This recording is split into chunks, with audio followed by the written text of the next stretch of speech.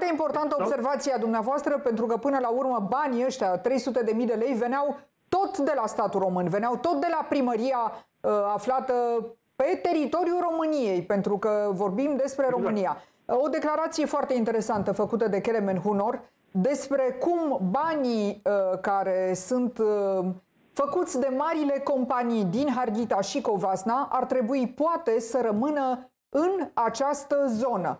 Kelmen Hunor o spune cu subiect și predicat, dă și niște exemple. Îl ascultăm, e foarte interesant conceptul ăsta de autonomie economică. Termenul de autonomie în 33 de ani a devenit uh, uh, un cuvânt uh, de care se sperie toată lumea. Oare ce înseamnă? Autonomia universitară ce înseamnă? S-a rupt vreo uh, universitate din România și s-a făcut uh, uh rachetă spațială? Nu.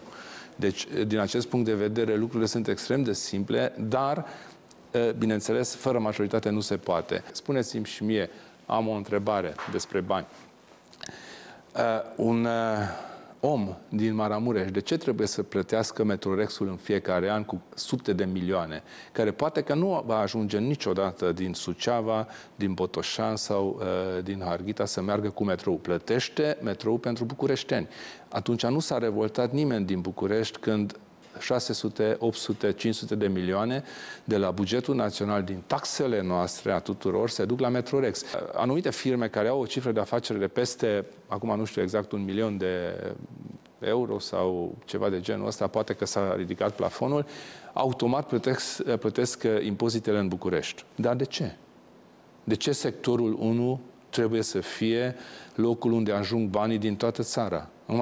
Dacă cineva poate să-mi explice și mie acest lucru, de ce nu rămân la, în Harghita, de la Borsec, de ce nu rămân de la Izvorul Minunilor în Bihor și așa mai departe, ca să vă dau doar câteva exemple de la apa minerală. De ce? De ce ajung banii în București?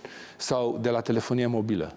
Cei care vorbesc la telefon, pe telefon folosesc cartela Vodafone, Orange, ce mai folosesc în toată țara, plătesc impozitul în sectorul 1. La redistribuire nu știu unde ajung banii. Fiindcă, uh, exact așa cum domnul Boloș a uitat finanțarea pentru 26 de spitale, nu uită să împarte din PIX banii.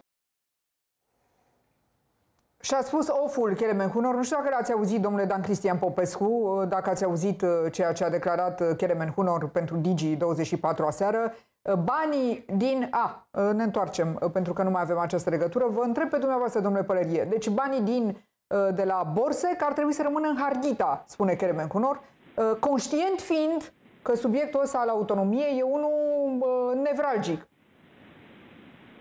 Da, eu recunosc că sunt surprins. Domnul Kelemen Cunor a fost vicepremier al acestui stat, a deci fost? sigur înțeleg înțelege foarte bine cum funcționează uh, statul român și cum uh, funcționează sistemul de impozitare și de contribuții.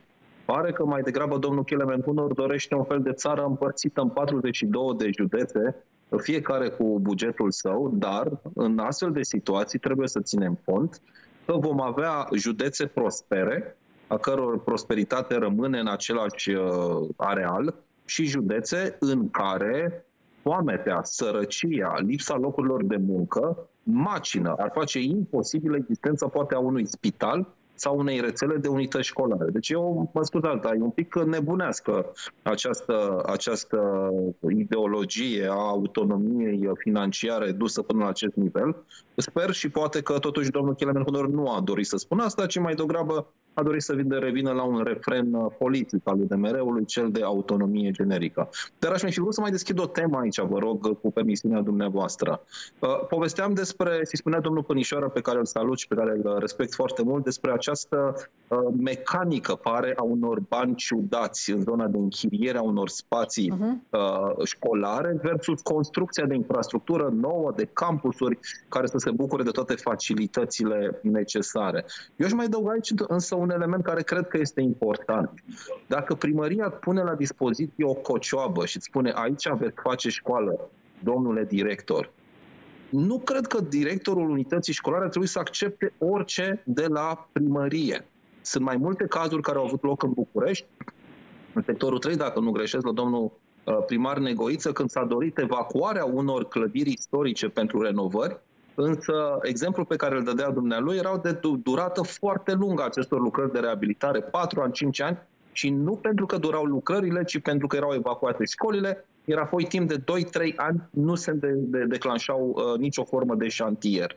De asemenea, avem tot în sectorul 3 și școala Mexic, o școală pentru care alături de viceprimarul de acolo am făcut o plângere către Ministerul Educației, unde școala, anul școlar a reînceput în condiții de șantier. Încă nu erau terminate băile, încă nu erau terminate uh, coridoarele de acces, faianța pusă pe, uh, la băi pe pereți, dar copii, inclusiv copii mici, începeau să vină la școală. Repet, directorul unității școlare are obligația să raporteze pe linie ierarhică, inspectorat și minister, condiții improprii de realizare activității educaționale sau cea de repaus, cum e cea din cazul unui internat.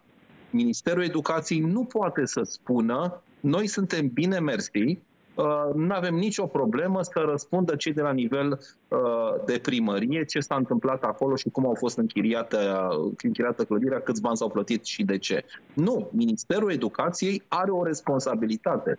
Un părinte, când își trimite copilul la școală, îl trimite către ceea ce este gestionat și administrat de către Ministerul Educației.